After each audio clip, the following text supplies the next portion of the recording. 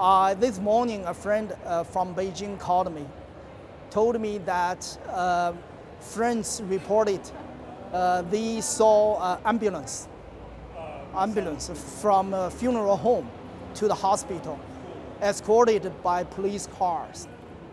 So we speculated something really, really bad happened, had happened.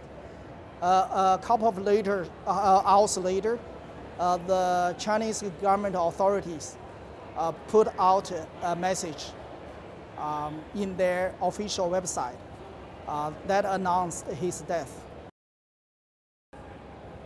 It's a shame.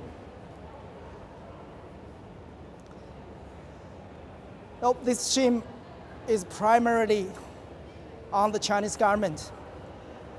We cannot help but asking question what kind of government would not let a man like him, such a peaceful, loving man, to die with dignity?